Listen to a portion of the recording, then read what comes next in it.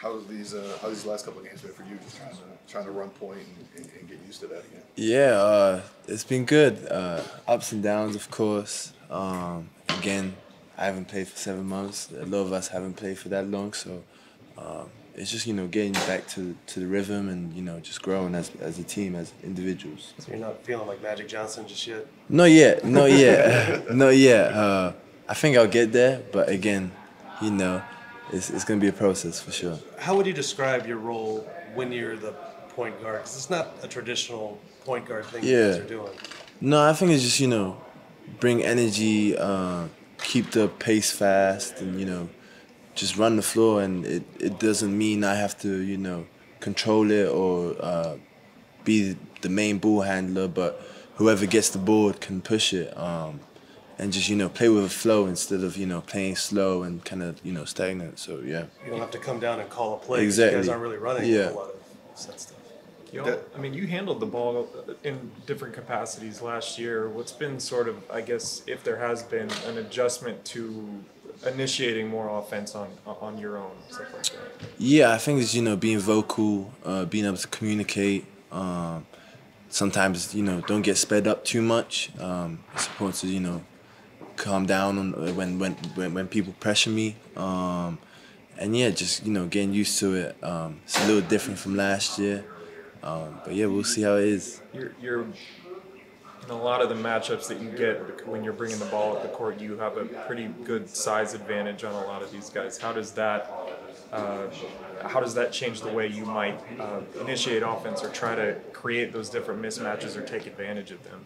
Right. Um, you know, there's ways ways to do that. Um, sometimes maybe instead of you know creating something, just walk the guy down to the post and then play from the post. I know that's an emphasis for us. You know, we have a lot of big guys. Vic, Zach, Keldon can play in the post. So um, a lot of post work and just you know once once we're in the post, you know, everyone on the other side can start moving. You know. Um, screen for each other, cuts. Um, it's gonna you know open up a lot, um, and then just playing with you know screens, slips, cuts again, especially when you know teams are switching.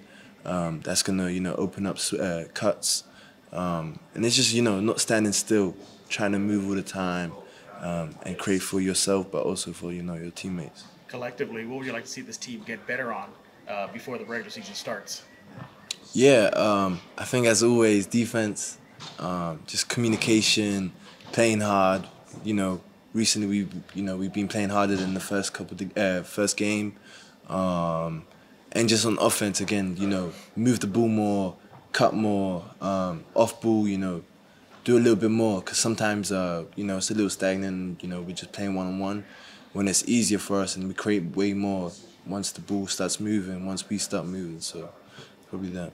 Play the Rockets three times in like the span of a week and a half. Like, do you see that as a, a rivalry that could build throughout the, you know, the, the season and the seasons to come? For sure. You guys are kind of in the same boat. Nah, definitely. Um, I think there already is a ri- rivalry. Um, uh, I think we want to win every game we play against them. We want to, you know, beat them. So I think it definitely will be. And I know they have a bunch of players who, you know, want to get under under people's skin and you know want to play hard too. So um, I feel like you know there will be some heads that will clash sometimes, but you know it is what it is. That's the Gonna game. Say by the third game you guys play is going to be a boiling point for you. It might be. We'll see.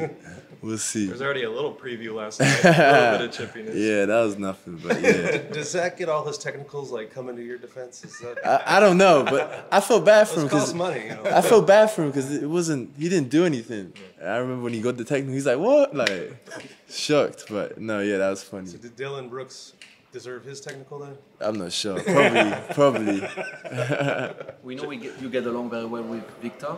How does he adapt to his new life here in San Antonio? Yeah, I think he's adapting really well. Um, he's learning every day. He's, you know, got this mentality that he wants to learn and grow. Um, sometimes, you know, you could be the number one pick and you could be like cocky and you don't want, you know, you're the best and you know everything. He's not that type of guy. Um, he wants to learn and grow. So I think that's really important for him. And I think, you know, he's liking the San Antonio vibes. You know, I've seen him eat tacos. I've seen him, you know, explore. So I think, you know, it's, it's been good for him. How'd you get him to do the hair? I didn't I didn't get him to do that. Yeah, he just did that. Yeah, yeah. Was it a, was it an exact copy of one of yours or? Nah, nah. He just he did he did his own thing. Do You think Keldon will be able to get him on a horse?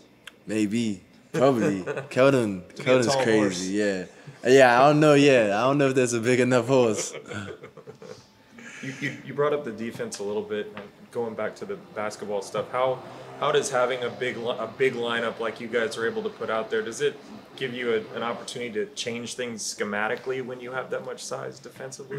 Yeah, I think you know, especially with that kind of size on, on in the lineup, I think it's important to protect the paint and um, you know be able to you know just show the presence of you know our length, our hands, and uh, kind of make it chaotic for them, um, and you know make them you know rush into decisions or shoot you know shots that uh, maybe you could have got a better one or you know there's a you know you try to get to the paint, but we you know we're trying to be big and uh, aggressive to the point where you know the paint is you know ours. So I think it's it's it's gonna be exciting and it's gonna be a lot of fun. I think the first time you started at point guard was at Golden State last year. Yeah. What do you remember of that experience? Again, it wasn't the best. Uh, a few turnovers, uh, guarding Curry. Uh, you know, it, was tough, but again, I feel like it was a process, and every other game it, it go better, and you know, just like now, uh, it's gonna be a process, but it's gonna be good. When you have all that length with with Wemby and with Zach inside, do you get to sort of I don't know, be kind of a ball hawk defensively? Like the other night, there was a play where the ball got in the middle, Wemby was extending his arms, and you came out of nowhere and kind of shot the the passing lane. Do you guys get a chance to kind of freelance on the perimeter a little more? Yeah? I think it's just read and react, and you know, again, that that length.